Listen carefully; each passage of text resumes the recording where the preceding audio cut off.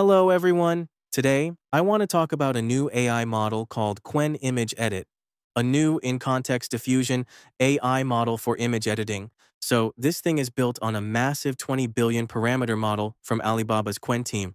Plus, it's awesome at editing text right inside images, especially in English and Chinese, keeping everything looking natural and sharp. It's got this dual control setup using something called Qwen 2.5 VL for understanding the scene and a VAE encoder for the visual look. As Comfy UI just updated for this image editing model, we are going to try it out loading in Comfy UI. Also, I want to do a side-by-side -side comparison with Flux Kontext, which is also a recent launch image editing AI model. Alright, so after we download the diffusion model, which is Qwen Image Edit, as you can see right here, I'm using the FP8 just to try it out. I also downloaded the Qwen Image Lightning. It helps cut down the sampling steps. You can find that in the link description below, and I'll post it there too. So, you'll see this repo for the Qwen Image Lightning download. Pick either one to play around with. I'm choosing the Qwen Image Lightning X Steps 1.1 to see how that goes with the 1.1 version.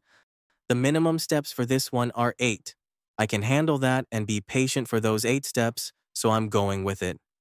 Anyway, we're going to enable this node here, connecting from the diffusion model to the LoRa model loader, and then we're sending the data to the model sampling. By default, everything's using the Qwen image generations from the workflow, as you see here. One thing we need for the text encoder to get started is the VAE.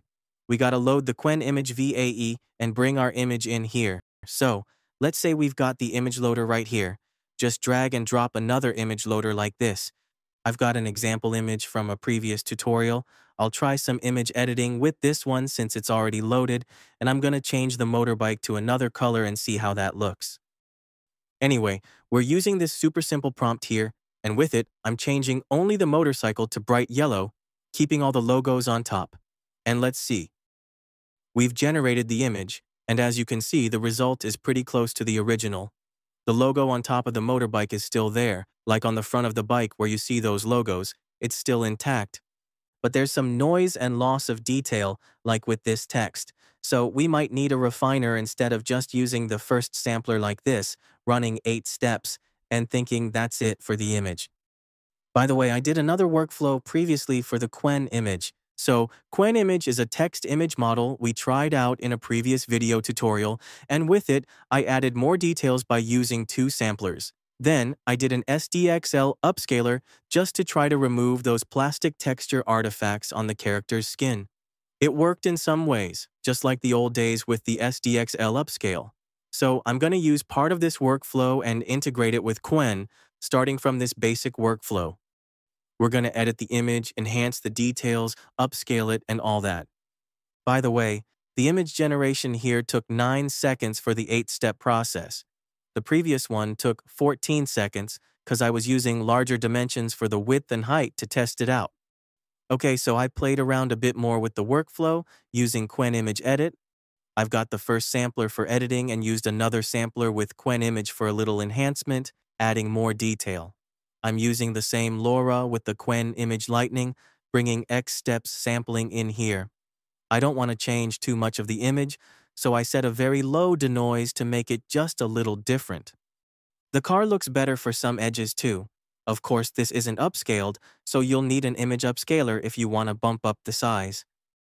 Next, people might ask about the flux kontext we've played with and how it compares to Qwen Image Edit. So I'm going to test that, doing a side-by-side -side comparison with Qwen Image Edit and Flux Kontext. Apples to apples, both for image editing. We'll use the same image, same editing text prompts, and see which one generates better in this workflow. All right, we've got the side-by-side -side comparison for both models. On the left, I'm loading Flux Kontext with a basic workflow, and the only thing I added is Flux Turbo to lower the sampling steps. I brought it down to 10 steps here. On the right, I'm using the same workflow I showed for Qwen Image Edit.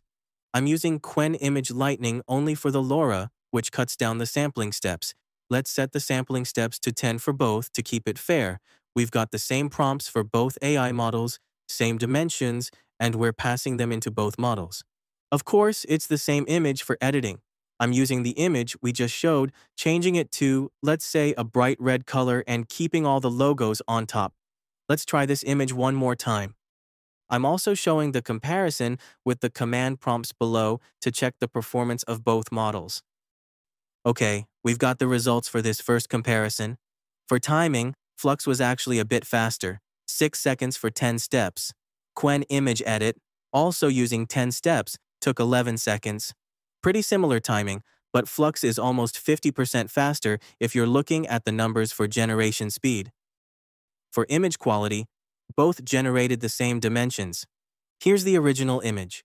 First, let's check Flux Kontext. It kept all the logos on the motorbike, just like my text prompt said, only changing the motorcycle color.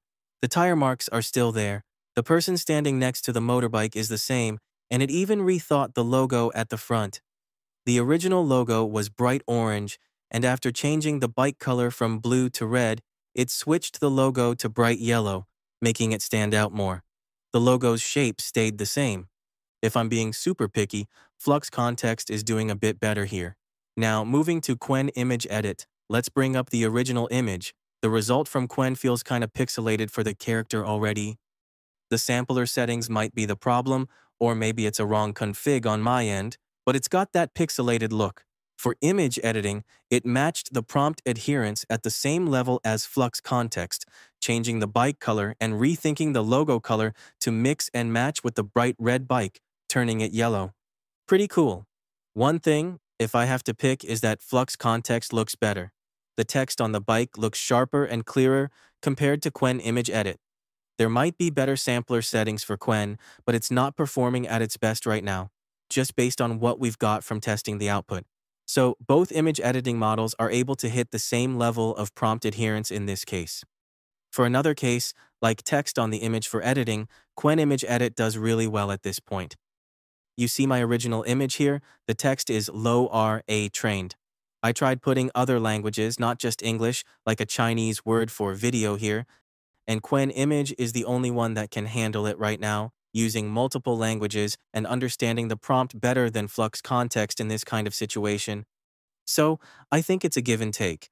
Flux Kontext is great for human character editing sometime, but Qwen Image Edit is good for text and also multilingual. For object positioning, Qwen Image Edit sometimes even better. Anyway, I will post this workflow link in the video description. You can try to test both image models. That's it for this video, and I'll see you guys in the next one. Have a nice day. See ya.